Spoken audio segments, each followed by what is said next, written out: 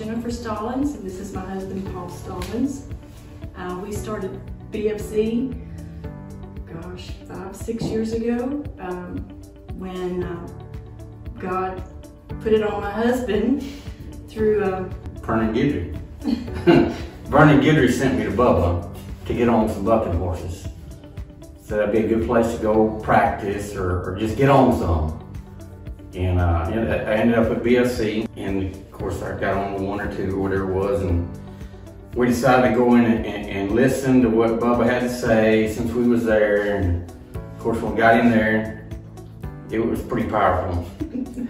So that's how we got started at BFC, off of a horse. but God had a purpose for us, and that's where, while we're at BFC, because of God putting it on him to want to get on a horse again.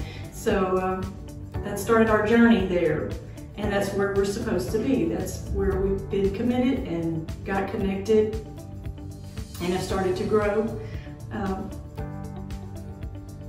and so I, I y'all, Bubba always like said, well, you have a purpose and you're here for a reason. And I, I had no idea what that reason was.